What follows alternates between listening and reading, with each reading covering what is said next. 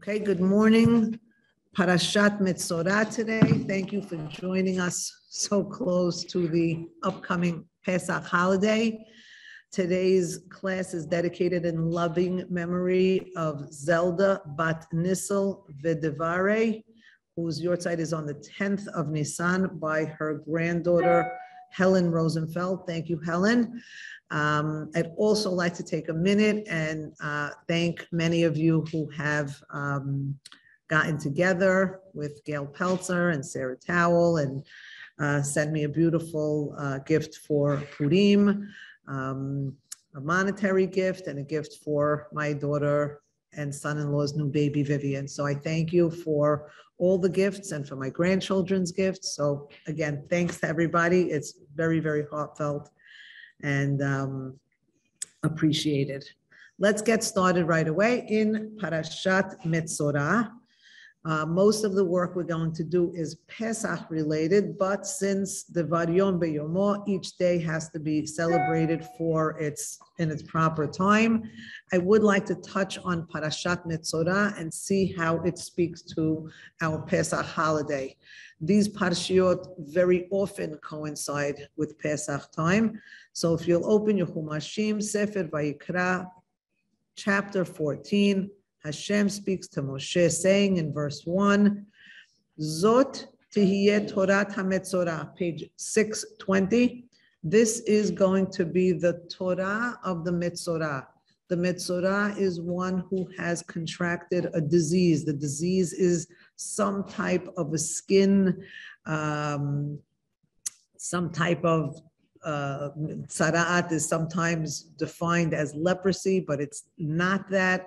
It's not bacterial. It's more of a attack on, it starts on the house, on the clothing, and then actually could be on the person. It's a way for a person to recognize that they need to change their ways. Mitzorah sounds like motzi shemra. So many people say that it is as a result of having um, spoken um, badly, lashon hara.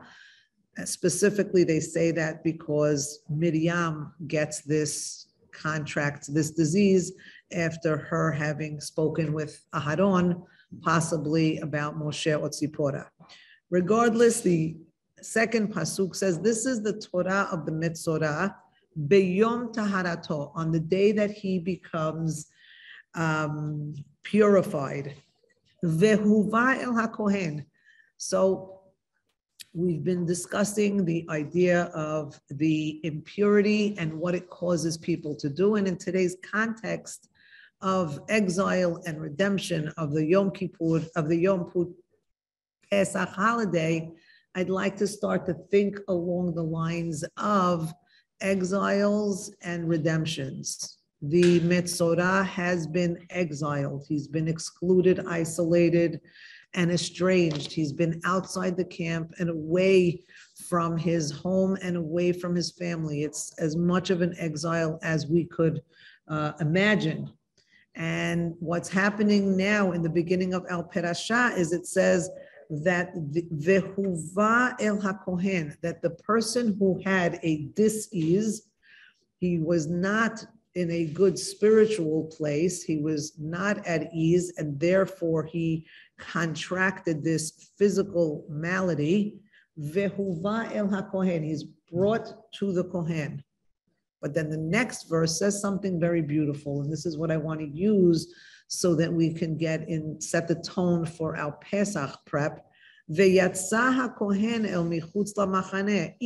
though the one who was afflicted is being brought to the Kohen. Veyatsa HaKohen. What is the Kohen doing? It's actually very beautiful. It's a beautiful education. My mother will say all the time don't wait for the guest to come all the way to your front door. Open the door and go out and greet them and draw them in and pull them in. This is what's taking place here. Veyatsa HaKohen, the Kohen, the one who is Ohev Shalom, who is Rodef Shalom, the one who loves peace, who chases after peace. How do we treat the person who's been excluded? How do we treat the outsider? Kol. What's the first thing we say at our seder? Anybody who is hungry, please come and join us. And hungry doesn't just mean that they haven't had a meal or food to eat. People can be hungry in a variety of ways. Hungry means sometimes they're hungry for attention or hungry for love, emotionally, financially, physically. They need aid. Anybody who is dichfin, anybody who is in need, what's a beautiful, just looking at the beginning of Metzorah, the Kohen himself, the epitome of holy, is going to go out and extend himself and go greet who? The person who was at one point the epitome of unholy. So doesn't matter how high you are on your perch and how low the person who is coming towards you is. The education the Torah tells us is you get off your throne and you go out and you meet them and you come to their level. That's how you bring people in. That's how we embrace people. This, of course, is going to be very much the stage that we're going to set to see the prototype of Moshe Rabbeinu, his personality, and what it takes to be a redeemer and what it takes to be redeemed. And what's beautiful about the way the parasha um, lays itself out right at the beginning is vehuva el hakohen. Imagine the person who's been excluded, and you know we think it's a seven-day process, but if you didn't learn your lesson and you didn't get it right, it could have been a longer. It could be 40 days. It could be a year. There's no limit to the time that you could be out and uh, um, isolated. What the Torah wants to make us sensitive to is the longer the person is isolated, the more he's going to need assistance. Vehuva means he is brought. You could picture him being escorted. It's as if he has bodyguards, as if he has people standing next to him to hold him up, to bring him back. So, in the one sense, the person who needs the help needs help just to come back into the fold. And recognizing that, says the Torah, Veyatza HaKohen. The Kohen is going to leave his holy mikdash and go michutz lamachane. He's going to go all the way to the place where that person was. So it's a very, very beautiful visual. And then we see these words, Vera'ah Kohen, and the Kohen is going to see Vehine Nirpa. The healing process is prefaced with the word Vehine. And we know Vehine means it's divinely ordained. There's been an intervention from above. Vehine Nirpa means the healing process is always going to be connected to having a connection to Hashem. And that is how we're going to introduce our um, coming off of the tzara'at uh, disease and malady. Look, everybody wants to take the first train out of Tazria and Metzorah. Anything we could do to get away from the oozing and the lesions and the skins and the boils, nobody wants to talk about that stuff but there's a lot of relevance for today's day and age. And I'm just going to add one last pasuk because it's right here and I hate to leave it behind. Verse four tells us how it is that the one who was afflicted is going to become pure again. And the ingredients that are used, the tools that are used, are in its, it is, is going to be a cedar tree, wood from the tallest tree, and it's going to be tied together with azov, with hyssop, with za'atar, with the lowest shrub. And I think these visuals show us that God is saying, I'm tying together the tallest tree and the shortest bush so that we could understand that nobody is beyond these uh, um, conditions and maybe it's also a sense of, in order for us to have this redemption, to be come back, to go back to our homes. Today we're talking about the leper who needs, or the Metzorah who needs to go back to his personal home. But when we're going to talk about Pesach, we're going to talk about as a nation, how are we going to get back to our home? And I think there's a very beautiful uh, visual here. How are we going to get back home? When we could tie together the cedar and the hyssop, when we could, as a nation, be balanced, when the people on the highest rungs of any category, whether it's intelligence, whether it's wealth, whether it's physical strength, whatever it might be, when those people who are the strongest are going to tie themselves to whom? To the weaker members in society, to the za'atars, to the hyssop, to the small bushes. When we can tie together both uh, um, prototypes, that's how we're going to have a redemption. So these are just visuals to take us to where I'd like to go today. Here in Metzorah, the afflicted is going to have his redemption and he's going to go back home and he's going to be taken out of his exile. And these are some of the methodologies. The methodology is first and foremost, he has to be willing, vehuva, to be brought to the Kohen. And it's beautiful because it says to people who need healing, who are in a place where they they are so weak that they don't know themselves what is going to bring them to a place of redemption. Vehuva. Sometimes all you have to do is allow yourself to be helped. And once you allow yourself to be helped, in the next verse, the help does come. And on a national level, how is the help going to be something that is uh, sustainable is every member of the society, because I may be strong in one thing, but I may be weak in another. And so we have to tie together our weak and our strong. And as individuals, we have to tie together our strong suits with our weak suits. We have to allow for our strengths to compensate for our weaknesses. We can't just see ourselves as hyssops. We have to remind ourselves that we also have cedar within us. So we need to integrate personally, we need to integrate as a nation, and that will take us, God willing, to a full redemption. I'd like to start now in addressing the upcoming Purim, uh, I keep saying Purim, Pesach holiday. I'd like to actually start in the beginning of the book of Shemot. And I think it's very interesting now to note some words that tie to El Perashah as well. It's on page 292. It's the book of Shemot, chapter 1, verse 1. I'm going to focus on the last word of that verse. It starts with These are the names of the children of Israel, Ele Shemot, Bnei Israel Habaim Mitzrayma, Et Yaakov, Ish Ubeto Ba'u. Very important to focus on the progression of how we got into Egypt. Because Egypt is going to be an exile, but it's just going to be the blueprint of future exiles. Meaning, when we go into Egypt, how did we get there? Ish ubeto. We came with our homes.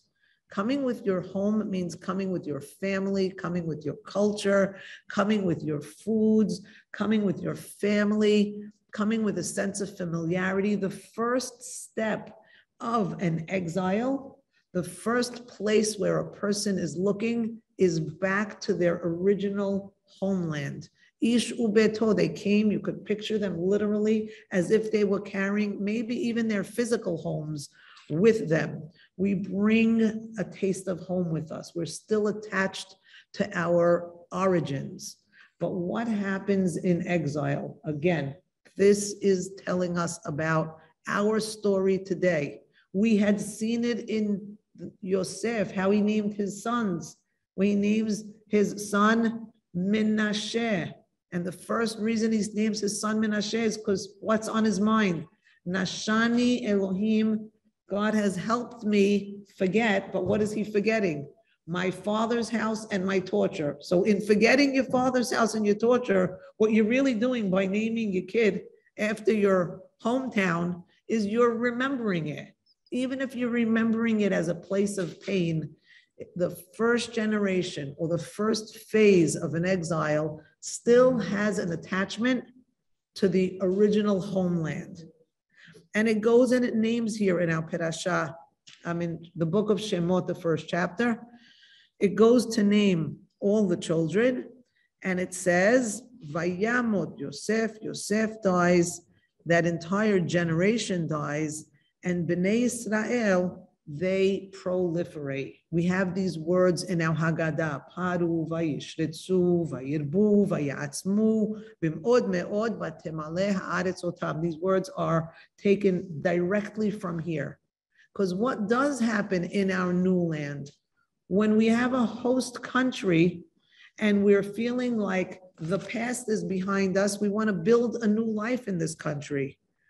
But in verse 8, things go south very quickly. As long as we see ourselves as guests, as long as we're still looking back at our hometown, we have one status. But the minute that we turn and we start to say, and you'll see in verse 9, a new king comes up and he tells his people, Hine am b'nei Yisrael. Am is a derogatory um, way to describe a nation. They're an am. And you know what they are? They are Rav ve'atzum mimenu. I apologize if you've heard this already, but I think it's the key and I think it's meant to be repeated every single year at this time. What is Paro's problem with us? Is it the census that our population has exploded? Is that his problem? Because that would could describe that we are Rav.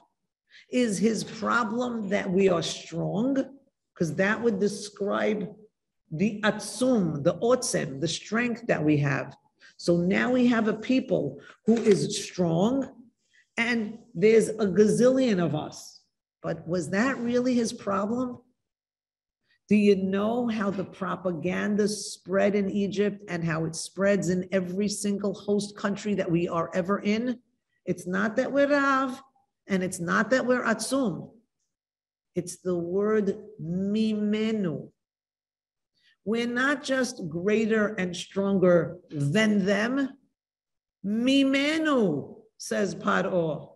You know their strength their buildings, their homes, their cars, their fields, their orchards.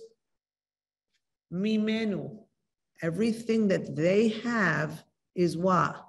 From us, is taken from us. That's how the propaganda begins. Because how could you dehumanize an entire population? And how could you take, in very often is the case, that the perpetrators of the genocides are cultured people. They have intelligence, they know the sciences, they're philosophers. How do you take those people and turn them into an army of murderers? That's what happens. How does that happen? They have to tell them it's a matter of survival. It's us or it's them.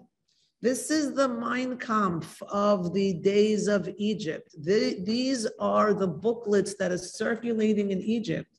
And what's being said by the host country is you see those Jewish people, you see them, what they have is mimenu. What they have is from us. They took it from us. So it's only fair that we go and take it back. And that's how they mobilize the troops. And we need to be aware of them and of that. And they say in verse 10, Havan it hakemalo. This is in our Haggadah also. Let's outsmart them. Pen yirbe. Otherwise, they may become so great that if there should happen to be a war, they may team up with our enemy and fight against us. Another propaganda 101 is a hypothetical situation that's going to inject fear and terror in the people. And how do you terrorize people? You let them know that unless they incinerate us, that they themselves are going to become victims. So it becomes a habal somebody's going to come to kill you. You actually have a right, you have an obligation for self-defense and to protect yourself. This is this is right here in our Chumash. It's thousands of years old, but it could be like it was written yesterday or today or tomorrow. And so these are words that we need to be aware of. I'll just read you a few more lines and then we'll take it to the next place. So they put on them in verse 11, Sarei misim, taxes. How do you hurt the wealthy, the fortunate, the successful? You put misim, taxes on them so that you could they could be tortured. And then they put them to build these cities for Paro, Pitom, and Ramses. And the crazy part is in verse 12, the more they tried to torture, torture us, the more we proliferated. And what happens then is we become to them like vermin. We become something that is disgusting, something that is inhuman or, or unnatural. It's not natural for people. Wait, I am muted. It is exactly, we have to be sanitized. Yes, yes, yes. This is something that we have to be aware of. It's written here for us to be uh, totally cognizant of that exile, but this is a blueprint. And so what happens? They give them, and this is where I wanted to bring you for today, they torture them and they enslave them with parech. The word parech means back-breaking labor. What is the purpose of this back-breaking labor? The idea, the vaya'anu oto, the inui, leman anoto besivlotam, the word for pain and torture is the same word la'anot as to answer, to respond. And so many of anot, la'anot is to answer, and inui, anot is to torture. And so what did their did they want? They wanted their response or they wanted their expression to be one of pain and torture, but what they really wanted was to take away their ability to express themselves because they knew one thing.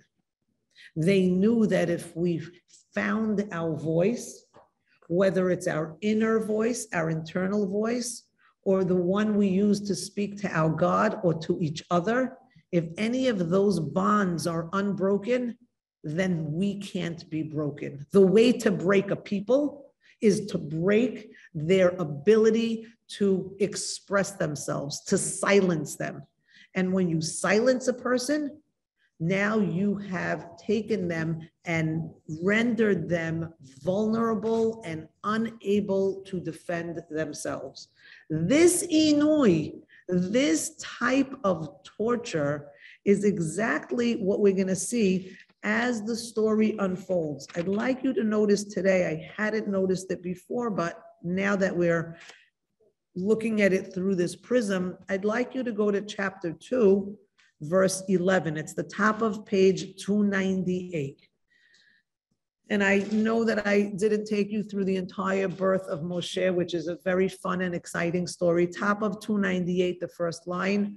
It's chapter 2, verse 11. Vayihi bayamim ha'em. In those days, Vayigdal Moshe. I know I left out the best part with him bobbing along in the Nile and the daughter of Paro finding him. But I wanted to bring you here because I wanted you to notice that this child who is born in this environment is a product of this upbringing, and I'll express it to you here. Vayigdal Moshe, Moshe grows up. Vayetze elechav, he goes out to his brothers. And the commentaries jump right in and say, well, which brothers? His Egyptian brothers or his Jewish brothers? Because since he was raised by an Egyptian princess, yet he was the child, the birth child of a Jewish woman, who are his brothers? He sees their suffering. And now it becomes very clear. He sees an Egyptian man, an Ish Mitzri, hitting a Jewish man of his brothers. So, how does Moshe identify? He's identifying here, if he had to fill out his passport, he'd put his nationality as Jewish, because he's saying Ish Ivri mi Echav, the Jewish man is his brother. But here's where it comes full circle. If Moshe is going to identify as a Jew, and the plan of the Egyptians was to silence the Jew, look at the next verse and see what happens. He looks this way and that way. He sees ki en ish. A lot's been written up about, about this stuff. He sees that there isn't any man around. Vayach et hamitzri. He hits the Egyptian and he buries him. What's missing from this verse? Moshe sees two people fighting where you don't use words, where words are not employed, you have war. It's war or it's words. It's diplomacy, it's peace talks, or it's fighting. Again, we see this every minute. And since Moshe is a brother to the people who have no voice, who can't express themselves, then what's his reaction?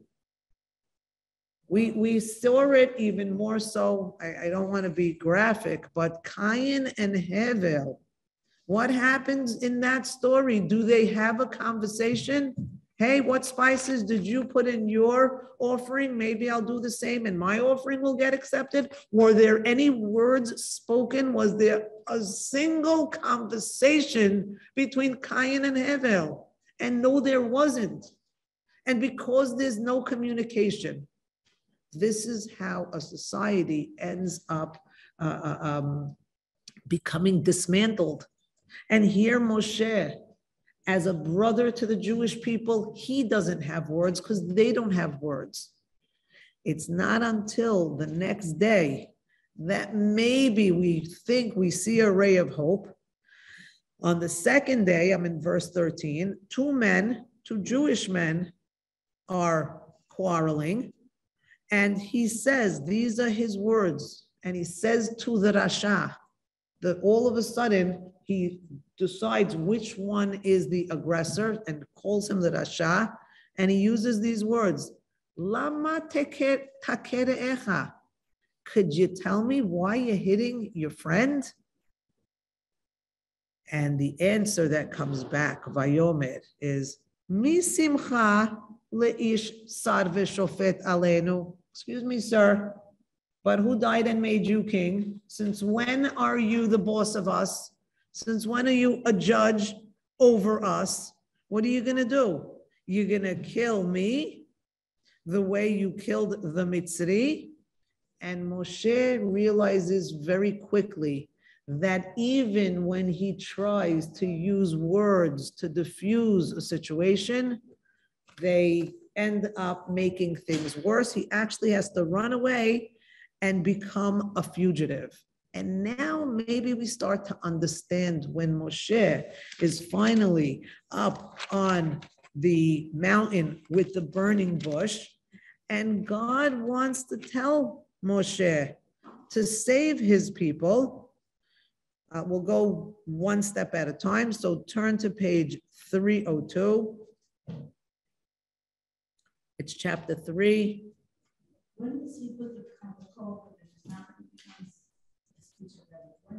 Oh, so it doesn't happen here, it happens in a midrash. It's not actually in the text. The call, the question that's being asked is when does his speech become impaired because he reaches for the coal instead of the gold? Because Pharaoh thinks that he's stealing his crown and they want to show that he's just a little child that doesn't know one thing from the other. But that is all a midrash. It's intended to depict for us how he ended up what, but it also is intended to depict to us that Pharaoh was onto him that Pharaoh recognized that he's going to be dethroned by this child who's tugging at his crown all day long. It's the Midrash Agadah, which has a lot of um, uh, significance to it to fill in the blanks for us, because otherwise you're asking a beautiful question. How do we know that he has a speech impediment? And I'd like to say that I don't think that he needed um, uh, therapy. I don't think that he needed speech therapy. I'd like to suggest from today's class that not being an Ish Devarim could mean as well, I'm not a person who's able to express myself eloquently or um, in a successful way because, and I'd like to suggest that when he says it in this context where we are right now, when he tells God, Lo ish devarim anochi, I am not a man of speech, I think what he's saying is, I don't have the gift of communication. Lo mitmol, lo mishil shom. And you know why? Because I was never taught. I didn't go to Toastmasters. We didn't in the upbringing that we had with all the slaves and all the torture, the idea was to be silenced. If you keep your mouth shut, you'll stay out of trouble and you'll be okay, and maybe you'll survive and you'll make it to the next round before we're liberated from this hell. And so, what is Moshe saying? You want me to be a spokesperson and go speak to Pharaoh? How can I speak to Pharaoh when I can't even speak to my brothers? I try to say. Excuse me, why are you hitting your brother? Maybe we could work this out. And where did that end up? I ended up in exile. I ended up in a double exile. I was already in exile in Mitzrayim. Now I ended up doubly. I'm not even in my place of exile. I'm exiled from there to Midian. So Moshe is telling all of us when he says Lo Ish Devarim, he's saying something very profound. Do you want to be a redeemer? And do you want to be redeemed? You must become an Ish Devarim. You must become a person who knows how to uh, express yourself. Because if you're not going to express yourself, nobody's going to do it for you. There's a voice and an expression that's unique, bless you, and individual to each person. So even though we may have national spokespeople, if we want to be heard, and I don't, I'm going to take it way further than just, this is not just a, an, uh, uh, an idea so that we could be heard and people could hear our thoughts or hear our voice. This is not just about that. The stakes are way, way, way higher than just freedom of expression. I don't think we recognize how important it is until we go through these verses.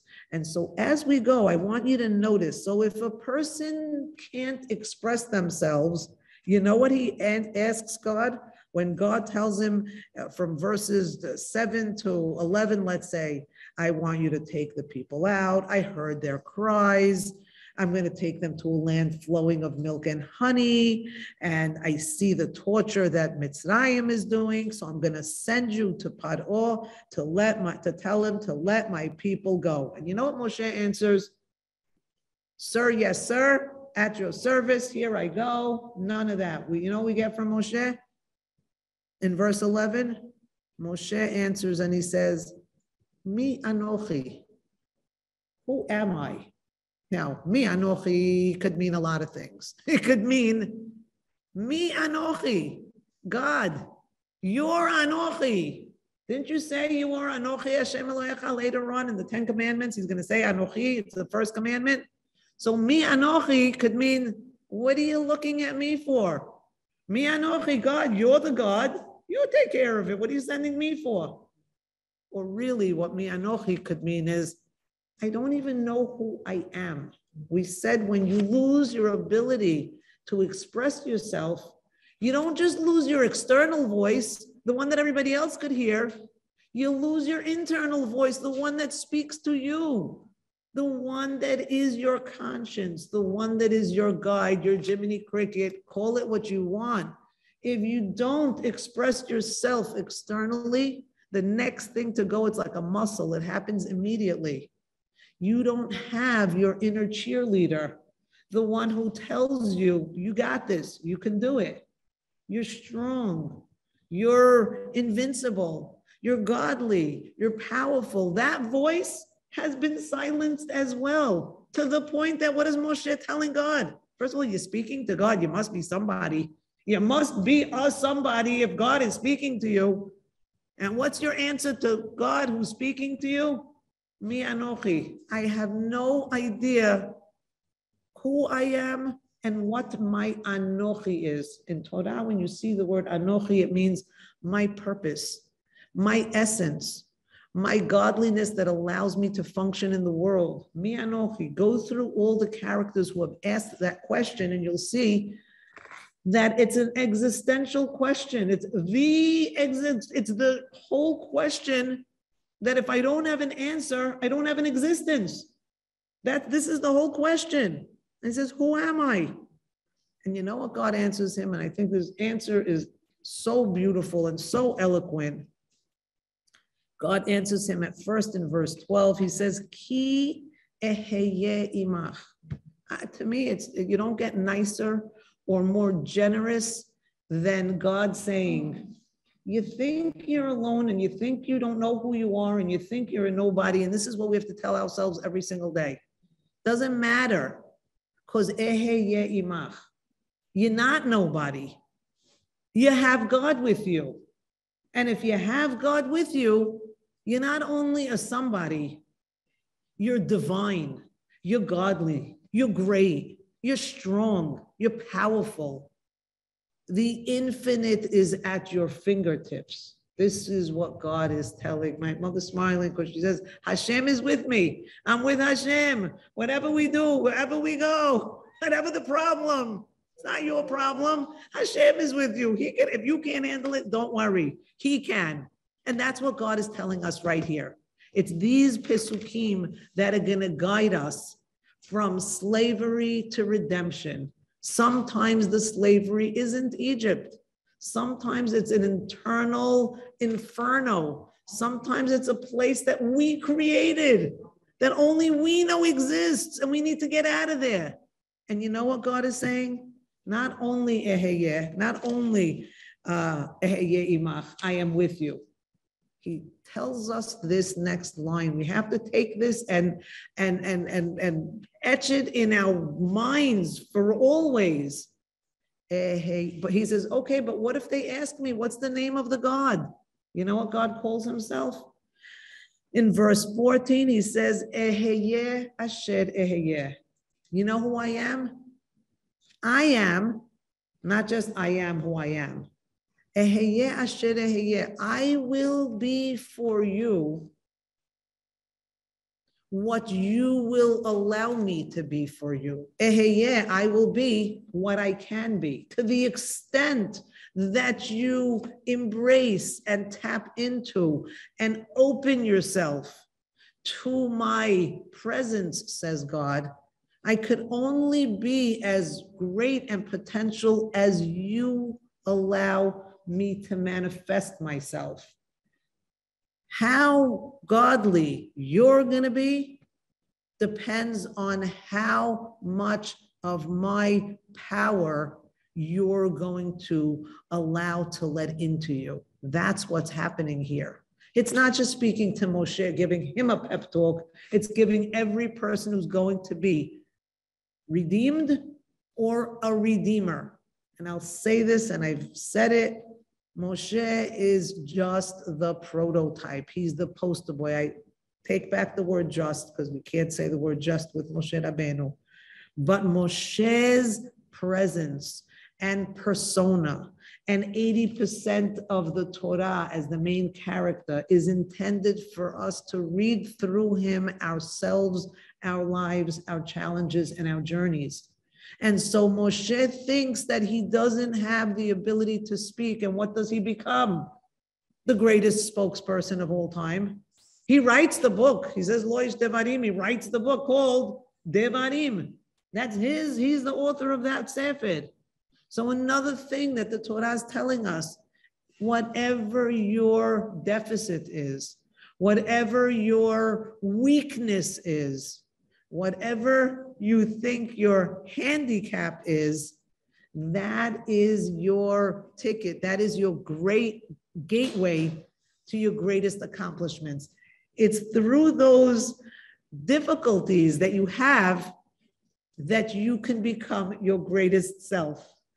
Vivien Hidary is in the house. Oh I love you. And she's throwing everybody a kiss. I'm sorry. We'll bring her to the Zoom so you could all see her also. Um, okay, let's continue. So if Moshe is here to say, to tell us, um, not only does he say these words, he tells, but lo yishme'u but God, they won't listen to me. He has this, it's, I'm in verse one, chapter four at this point. He says, what's gonna happen? They're not gonna listen to me. I'd like to take you now and show you the progression and how Moshe grows but it's not just for us to see Moshe's growth and to see the ability how a person could go from they're not going to listen to me, they're not going to believe me, they're not going to hear me, I can't speak, they can't hear. Also, by the way, the minute you say, I can't speak, it now ends up projecting they can't hear. I didn't just pull myself down. I pull down everybody else with me because I think I can't speak. I think you can't hear.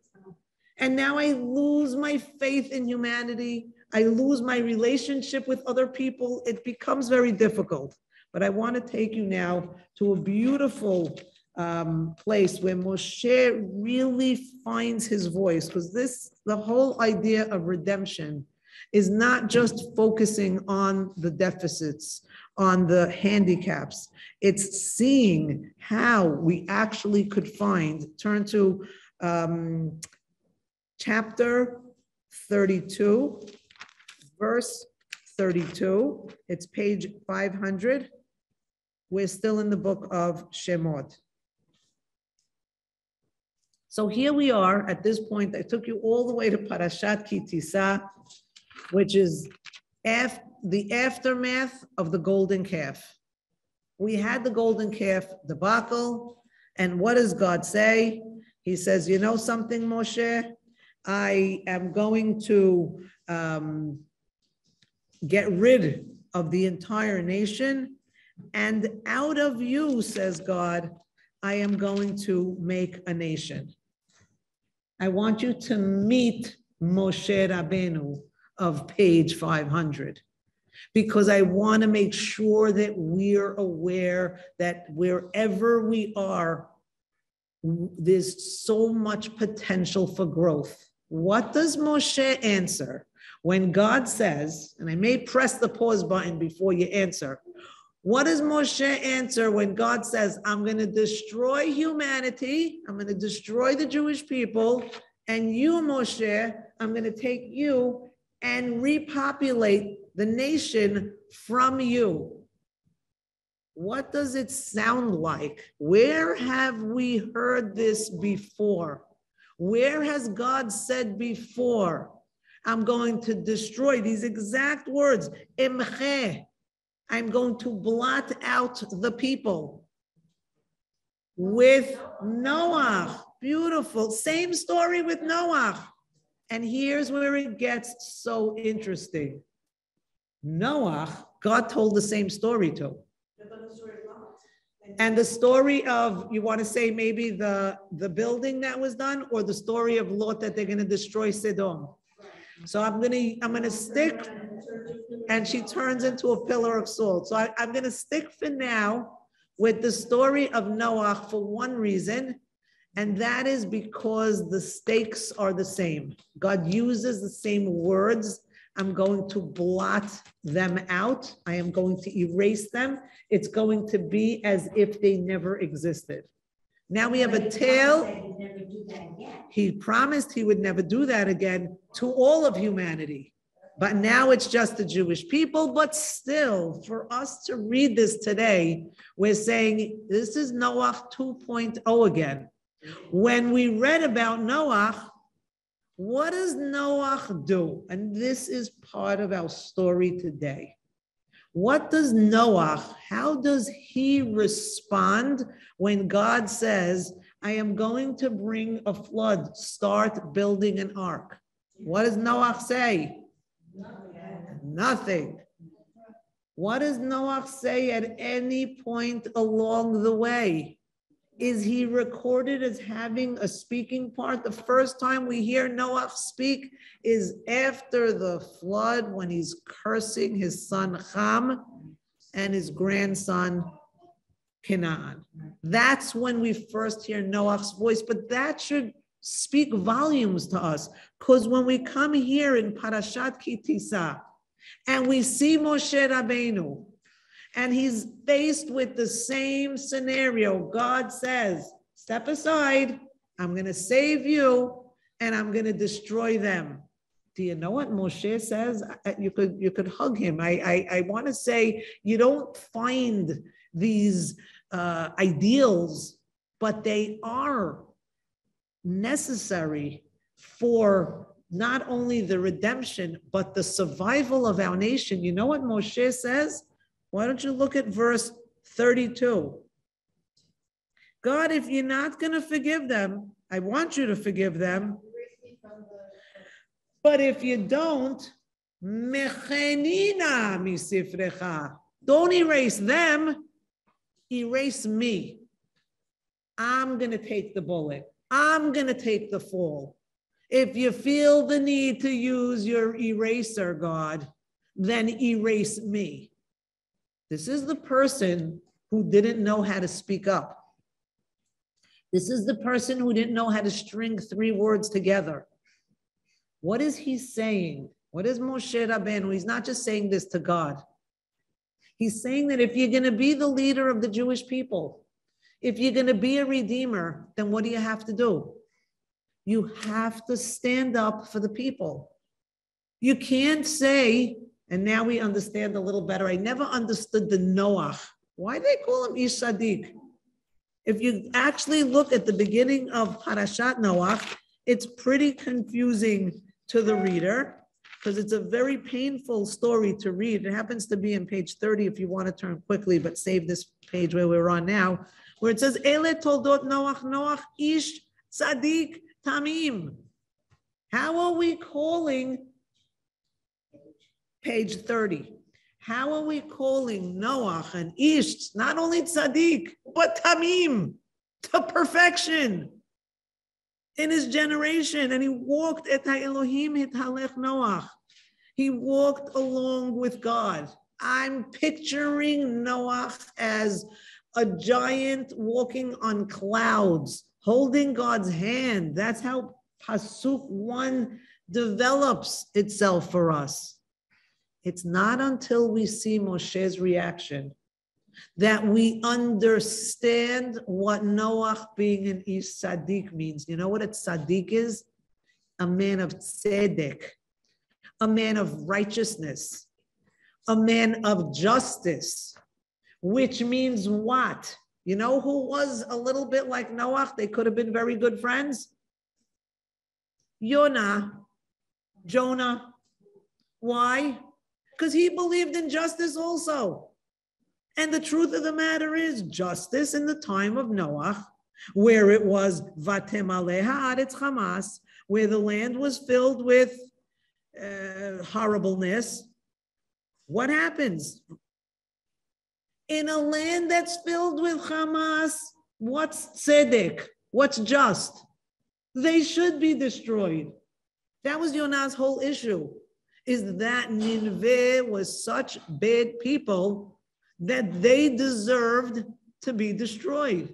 And he didn't want to go and give them an opportunity to make a teshuvah that he felt was going to be false or insincere and see them saved because that wouldn't be tzedek. People who are horrible people deserve to be destroyed, finished. And now maybe I understand for years it bothered me this Noah, he's not just Sadiq, he's Sadiq Tamim. In English, we might say to the letter of the law. To the letter of the law means that if something, somebody's deserving of something, then he's going to have it meted out to the full letter of the law. And you know what et Elohim et Noah finally means now? Now I understand what it means. He went along with God. God had a plan to destroy the people, and et Elohim et Noah. and Noah went along with God's decision to destroy. And therefore, he says nothing. And I'm going to take one more minute to describe this because I think it's very important. This is for us. What happens to a person when they don't use their ability to speak? When they don't speak up against humanity? I went one time, I forgot where, in the Holocaust Museum somewhere, there was that poem. They came for this one and I didn't say anything because I wasn't that. And then they came for the other one and I said nothing because I wasn't that. And then, of course, what do they say? They came for me. And there was nobody to, uh, to, to call out for me. I, I don't remember the author and I don't remember the exact poem, but it's a, it's a poem that spoke to the dangers of being silent. Now, what, you say? Silence is a form of consent, is what she's saying, which is very true. So I'm going to just show you. Noah shows us a progression, not just for himself, but for us as well. He starts out on the highest rung. He is up there with the likes of the Adam, of the perfect man, the ideal man that was created silence is used as a punishment of solitary confinement and do this to people inside communities. Oh, silence can be a punishment because they put you in solitary confinement. You do it even when you're walking around, in solitary confinement as a punishment for inside these communities. Wow. Wow, wow. So something that's being said here uh, in the class is um, silence isn't just something that we are saying here, if you decide to stay silent, then you are either acquiescing or committing a crime. It's actually a form of punishment. When they put a person into solitary confinement, it's so they have nobody to communicate with. And I'm so glad you're saying that because when I was speaking of the highest rung that Noah started out on, the rung of Adam, of being a human in its greatest form, the human is called, the ability that he has is called communicative intelligence. This, I, this ability to communicate, in order to speak, what do you need in order to speak? You need, of course, your mouth and your tongue and all of that. But what else do you need? You need your lungs, right? The voice box. You need your brain. You have to formulate what you're going to say. You need your heart to see how what you're going to say is going to be formulated and processed. It's an entire bodily uh, coming together. All your upper brain, your lower brain, all sides, your reasoning. You have to be creative in how you package it. Every part of your being has to be employed in order to uh, access this communicative intelligence as Adam. But and you have to have a freedom and unchained. That's a beautiful word. And you need to be unchained to have this expression. So, if the highest level, we're going to use Noah as our example, he starts out on the highest level. What's the next level? Living forms come in four categories it's man at the top of the chain, and then you have the animal kingdom. And the animal kingdom has this internal and external ability to um, to move around to they they're they able to grow. But noah noah noah exactly he spends so much time in the teva that maybe he starts to fall from the Adam kingdom, he starts to spend a lot of time with the animals. Then the next kingdom is going to be the plant kingdom. The plant kingdom has growth, like the animal kingdom has, but the growth is rooted. He can't roam around like the animals. The animals could grow and move. He could only grow, but be firmly rooted. And how do we see this? What happens after he spends all the time with the animals and he slips a rung? What's the first thing he does? Is he plants a vineyard and he becomes one with those grapes. He literally becomes intoxicated. And then the last, the bottom of the um, developmental chain is the mineral world The mineral world in Hebrew, I love, it's called the world of domim. Domim from the word demama, like vayidom Aharon, silence. Because the mineral world, it doesn't move, it doesn't grow, it doesn't have roots, it doesn't have communicative intelligence, it doesn't have any of the other things. It's the bottom of the developmental chart. And what happens to Noah when he falls from his perch and he ends up with the animals and then he ends up like the grapes that he drinks and he becomes drunk? What, what does that render him? Domem, the word for silence like Vayidom Aharon is Dom. When, when Yeshua wants to say Shemesh Begivon, Dom. Dom means to be frozen, to be immobile, to not express, not do anything. So, what is this Vayidom? What is this world of Demama? What is our fear? What's the possibility if we're not going to use our communicative intelligence what could happen to us? We're going to become like a stone, like a mineral. We're not going to be able to. And what happens to Noah himself? Because he's lying like a stone, literally stoned because of all of the drinking, what happens to him?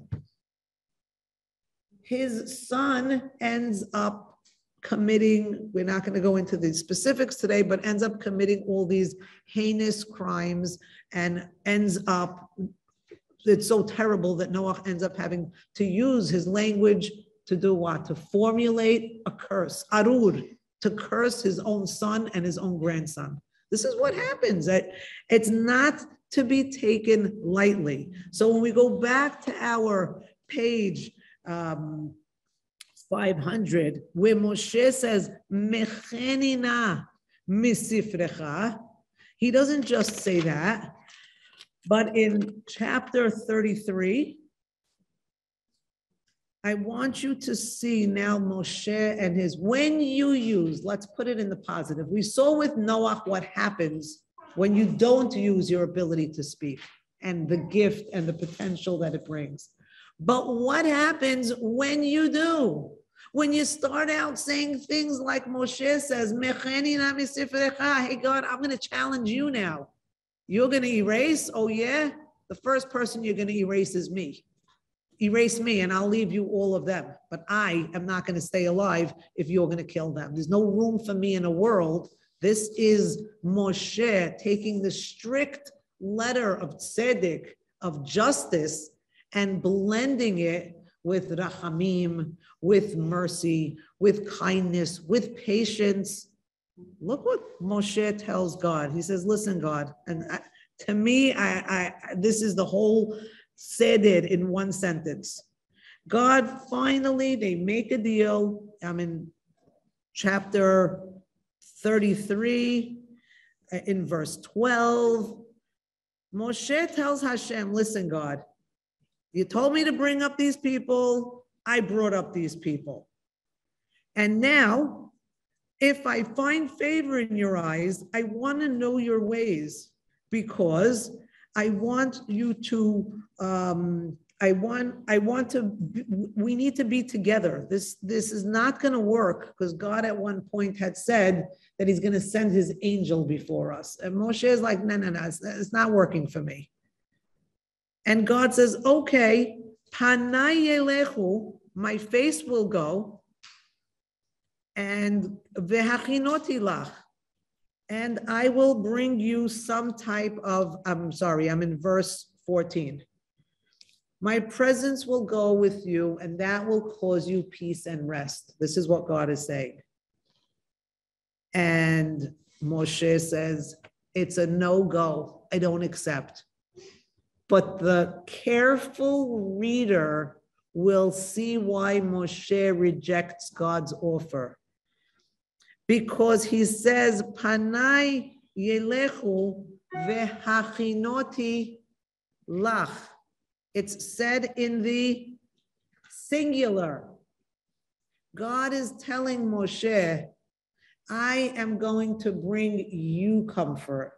I am going to be with you. And what does Moshe counter in the next verse? Moshe in the next verse says,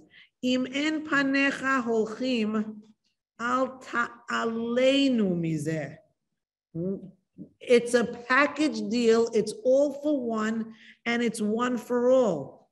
And he says, otherwise, how will we know? Belechtecha imanu. You have to come with all of us. And God, when you're in the midst of all of us, veniflenu, we will all be um, meriting wonders and miracles. Ani ve'amecha. Let's be clear. Read the fine print, God. I'm not accepting this business where you come with me. It's all, it's one for all, and all it's all for one and one for all. And he's and Moshe at this point is telling us if you want to be a leader, not only is it not about just saving yourself, but it's about putting the other people first. You know, they say about Moshe, Ha'ish Moshe, Anav Mikol Adam. And we want to say, oh, Moshe was the most modest man. He wasn't the most modest man. Modesty, from the word modus, means to what?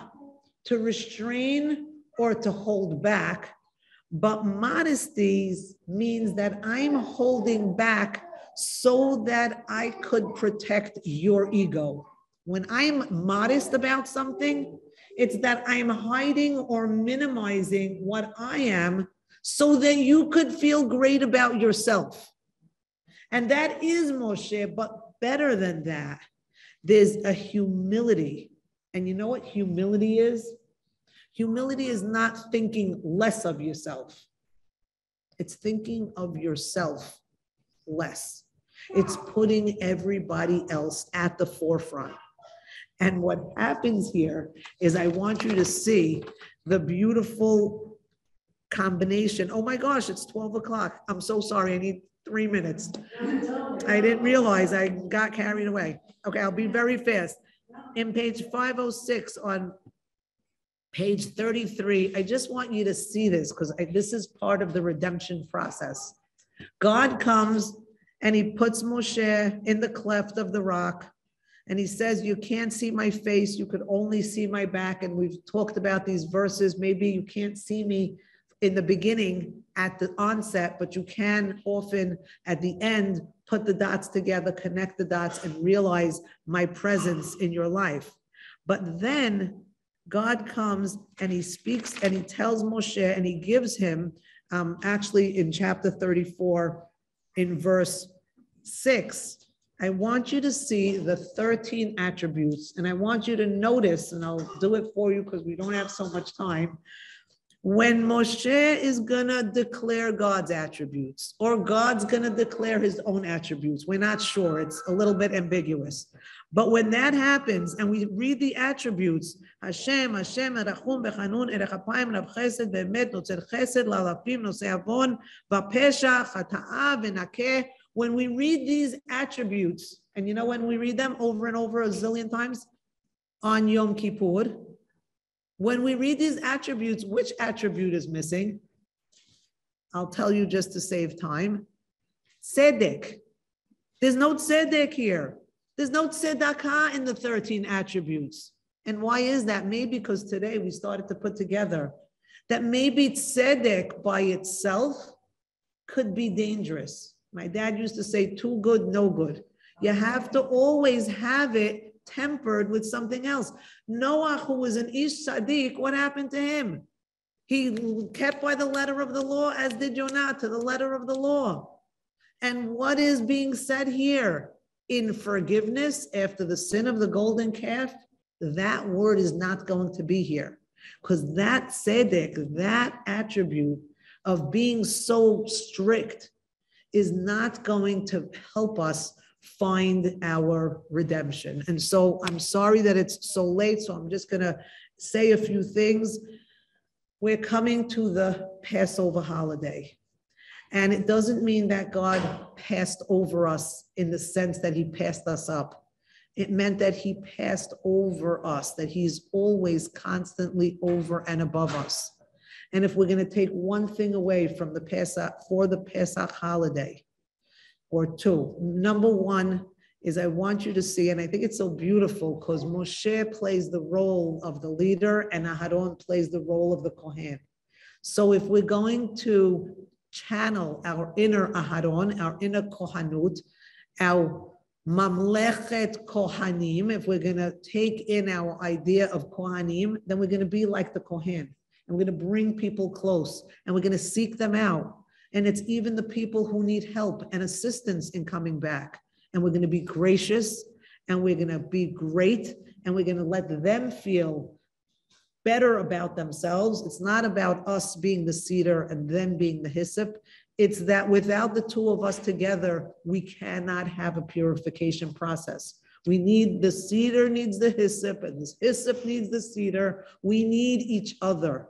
This Am Yisrael, Arevim Zelazeh, we're connected to each other. That's going to be easily taught to us from the process by which purification takes place in this week's parasha.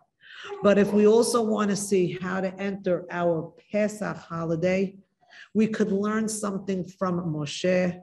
And from Moshe, we're going to learn to use our gift of speech, our communicative intelligence.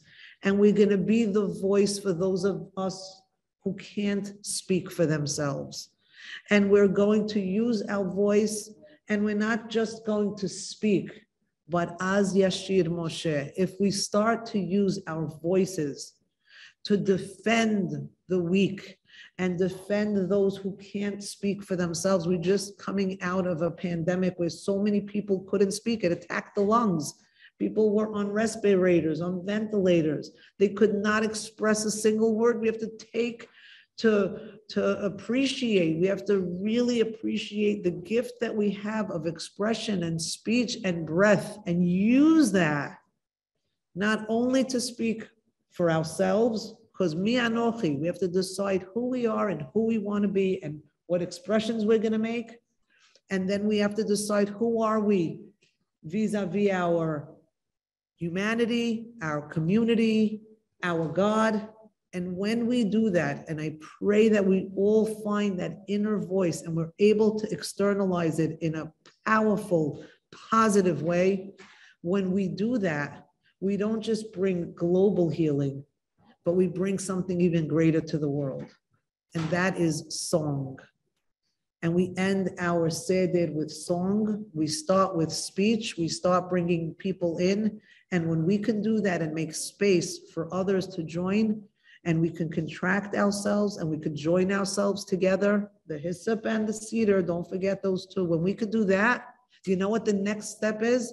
Not just redemption, not just survival, but a thriving that brings such joy that we're going to get to the point where Az Yashir Moshe, where we're going to sing our own song. Miriam sings her own song.